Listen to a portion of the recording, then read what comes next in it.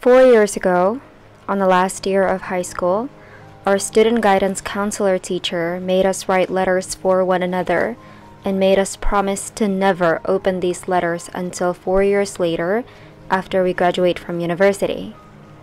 On this day, I just graduated from university, and so I rushed home. I searched for my time capsule. I opened them, and I am going to be reading the words from my friends from four years ago that I have never touched until today. Enjoy!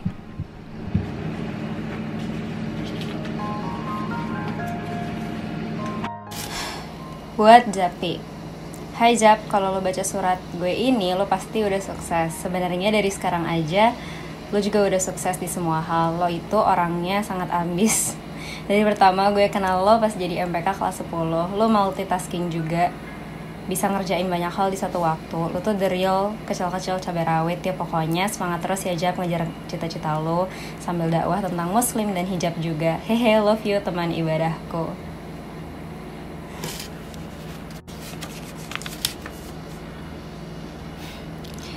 Ini dari ketang angkatan gue. Ketang 02 SMA Lab School Cibubur angkatan 4 Jap, apa kabar? Gimana kuliahnya di Jepang? Udah dapet calon? Apa udah nikah? udah, udah nikah Gue harap lu sukses terus ya di mana pun itu Orang-orang kayak lu gak mungkin gak sih? Amin Jap, jangan lupain guys ya Gila lo Gila lo tuh salah satu dari sekian orang yang gue enjoy kerja sama lo semasa SMA ini Jangan sombong ya kalau ada kumpul-kumpul GS atau SVVDAV Ketang 02 Aufa Terima kasih Aufa. Zafira, Japi, Japidun, Pidun. Pernah galauin sahabat gue yang pergi ke Amerika. Siapa? Bukan cuman pintar dan cerdas Tapi juga punya akhlak yang baik Selalu ambisius. Ingat gue ya Jab, orang yang gak banyak omong Yang hanya manusia biasa. Chat gue kalau lo dapet surat ini I will. Semoga lo sukses di tujuan lo nanti. AV408 Fadel Isani Di belakangnya ada juga. Japi udah di Japun. Nempuh pendidikan dan hidup baru. Semoga sukses terus and may Allah bless you. Ehe bacanya sudah sama suaminya aja nih hehe. I think a lot of my friends knew that um, I really wanted to get married around this time and they knew that. Malu, jadi malu. Oke. Halo Japidun, udah nikah belum? Vivit. Acara nikahan undang un, acara nikahan undang-undang ya. Udah hehe temanku yang satu ini sangat ambisius tempat cari info dan sangat pintar. Semoga suami lo soleh ganteng bisa nafkahin yang bagus-bagus lah. Semoga lo sukses terus jadi cewek yang berpengaruh di Indonesia dan dunia. Amin. Terima kasih Vivit.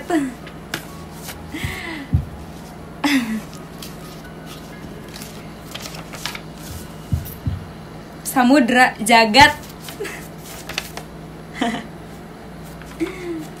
Jap, gue kalahin UN fisika lo. Begitu lo baca tulisan ini, kontak gue langsung ya Tahun terakhir kuliah di jurusan arsitektur. Siap! I'm gonna text everyone after I read these.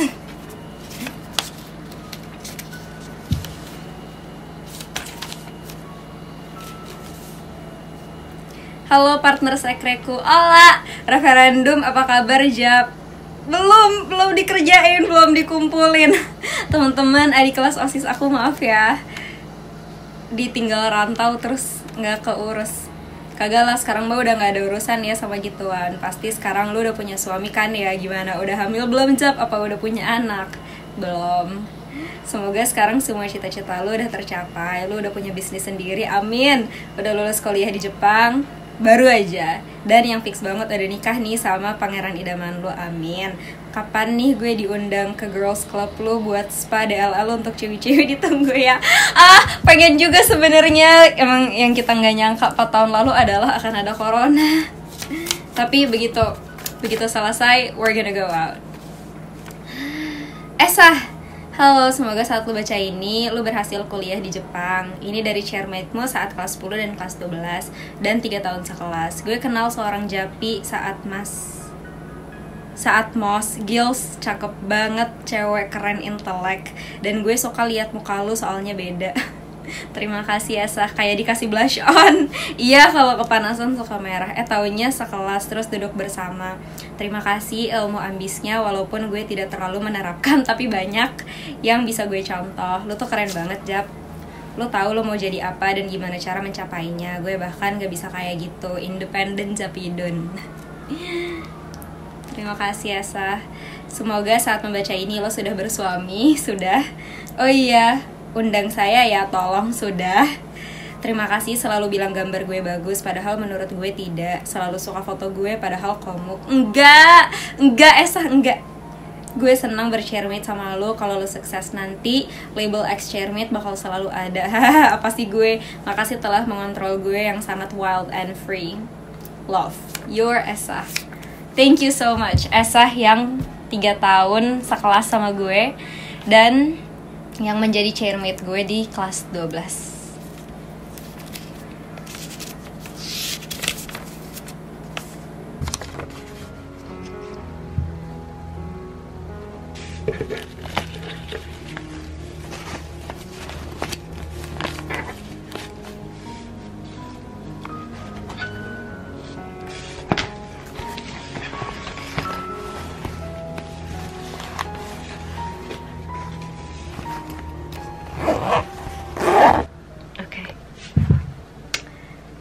setelah selesai ngebaca surat-surat dari teman-teman gue dari tahun 2017 di semua tumpukan itu gue menemukan satu surat dari diri gue sendiri dari tahun 2017 untuk diri gue yang di tahun 2021 dan ini sejujurnya gue malu banget bacanya. I don't want it to be cringe. I'm curious to see what kind of person I was when I was reading this and how I think I may have grown over the past four years maybe, hopefully. This is what the letter looks like.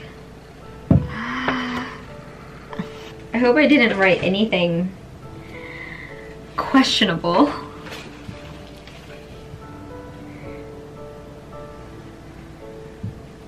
Dear future me, if you're thinking about getting a dip, I can't read this. Why? Why? Why did I think this way? Dear future me, if you're thinking about dropping out of school, just remember that you want this degree. So bust your ass and finish the, I can't say it, have you found the peace and freedom you wished for? Are you happy? Are your precious people all alive? I lost my grandfather when I was in my second or third year, I can't remember, so very recently. I'm in a place where I wish I could be more grateful or even feel that I'm worth more. Oh, poor babyza. Promise me you'll come to recitals. Promise me you'll come to sport events and competitions. I didn't. uh, I, I guess I broke that promise. No matter how busy you are, don't do a half-ass jobs on being a mom. I'm not yet a mom. I guess that's one thing that I thought I was going to be when I was 17. Oh, that's what I meant. Repeat. Promise me you'll come to recitals. Promise me you'll come to sport events and competitions. Not my own, but my children's. I see. Okay. No matter how busy you are, don't do a half-ass job on being a mom. I won't. Inshallah. Cook for them, play for them. If you can't take them to school, then find a driver. Talk with them Tell them you love them every day. And this is if you have a child, that is.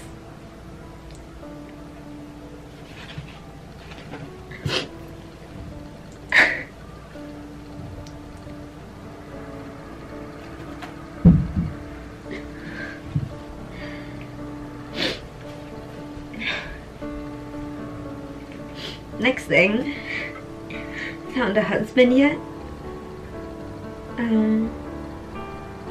Currently at that crazy age where I'm craving for love, but who knows how that will change. For whatever's worth, I hope you're happy.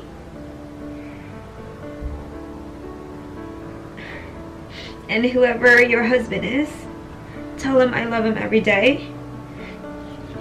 There's a part here at the end where I'm asking my future self, so right now, me right now, to pass over the letter to my husband. So he's not here now, but I'll show him that.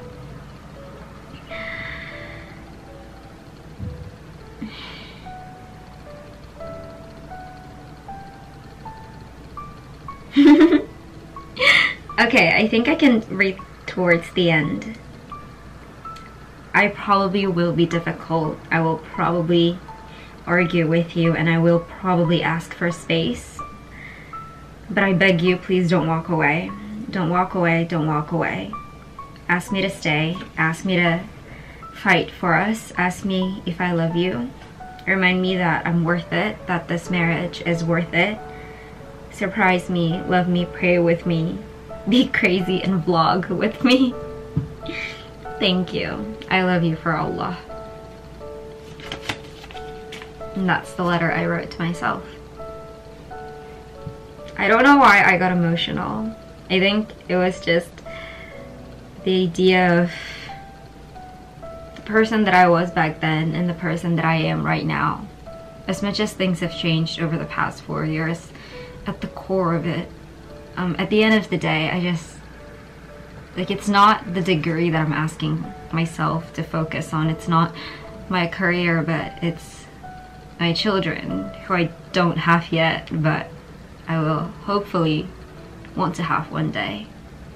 And that, I think, will always be the most precious thing.